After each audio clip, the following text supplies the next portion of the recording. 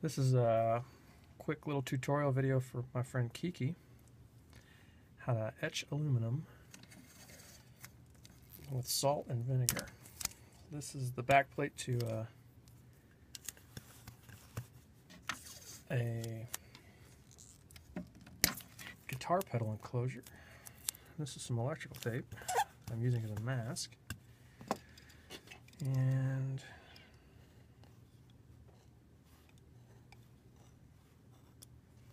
this is a silly little design I'm gonna etch into it.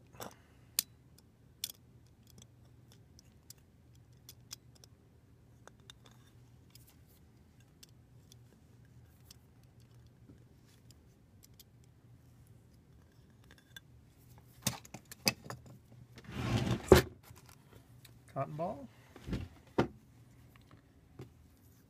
This is a salt and vinegar solution. I don't know how much of what I put in there I will say.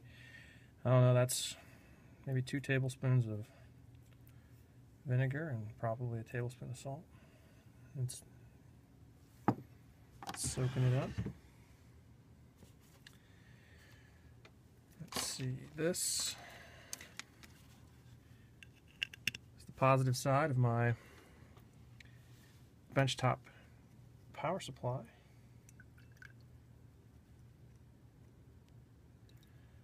And this is the negative lead.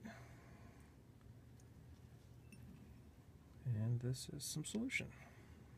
Now and I'll turn the supply on. You'll notice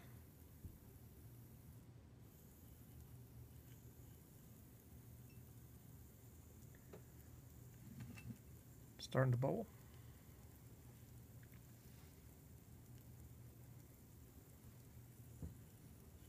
Can see it's beginning to etch.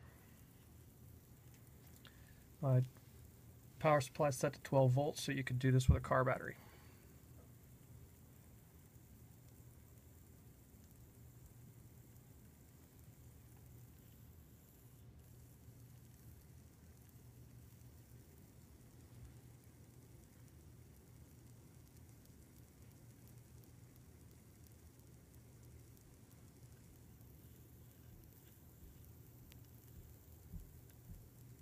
Now, I'm sure there are numerous ways you could mask this off.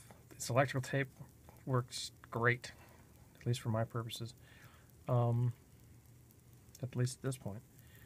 You'll notice you're starting to get aluminum coming off here.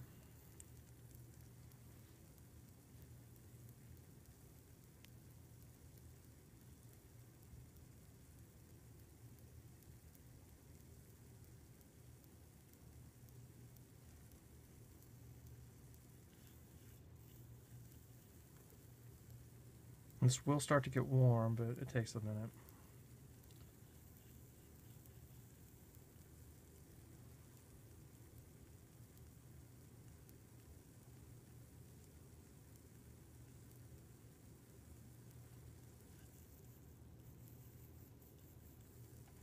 I'm going to shut off the supply.